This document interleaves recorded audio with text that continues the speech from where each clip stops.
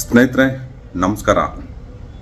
ಚಿಕ್ಕಬಳ್ಳಾಪುರ ಜಿಲ್ಲಾ ಮಾಧ್ಯಮ ವಕ್ತಾರ ಆದಿನಾರಾಯಣ ಮಾತಾಡ್ತಾ ಇದ್ದೀನಿ.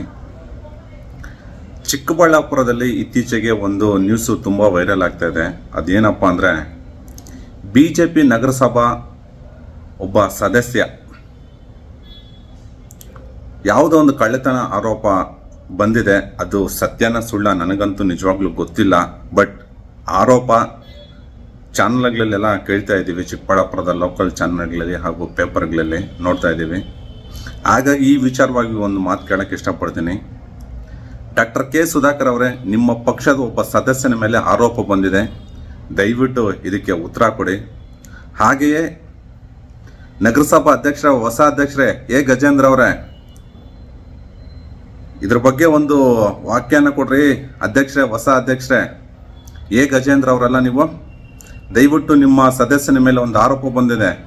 ಅದರ ಬಗ್ಗೆ ಒಂದು ರಿಯಾಕ್ಟ್ ಆಗಿ.